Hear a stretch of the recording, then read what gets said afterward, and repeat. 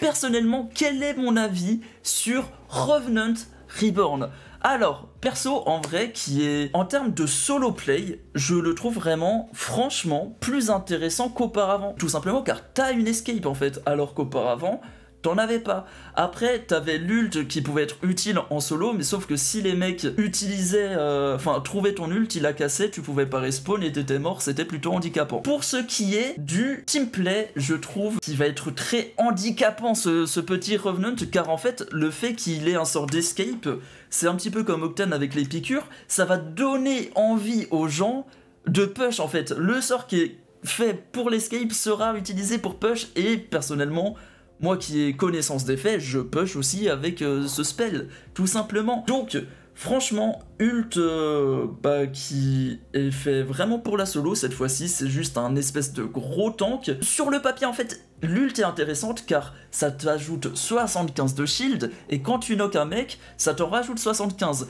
Mais tout à l'heure, quelque chose que je n'ai pas compris, c'est que ça m'a rajouté les 75 de shield. Au bout d'un moment, j'en avais plus, j'ai renock un mec entre temps et cette fois-ci, ça m'avait pas donné de shield.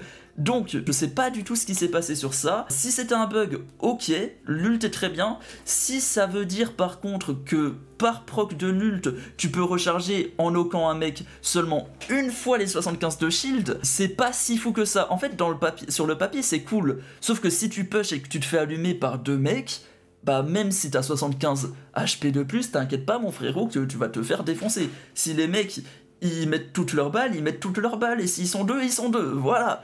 Donc, euh, toujours rajouter 75 de shield, oui, si c'est une seule fois, pas fou. Mais franchement, ce Revenant, personnellement, je trouve pour mon gameplay personnel qu'il est beaucoup plus intéressant que le précédent juste grâce à son actif. L'actif encore une fois qui pour moi a un petit souci sur euh, sa réactivité au moment où tu l'actives dans le stress car vraiment t'appuies sur le bouton et je pense que 2-3 secondes après seulement tu t'envoles. Mais à part ça, franchement ce Revenant est très très bien.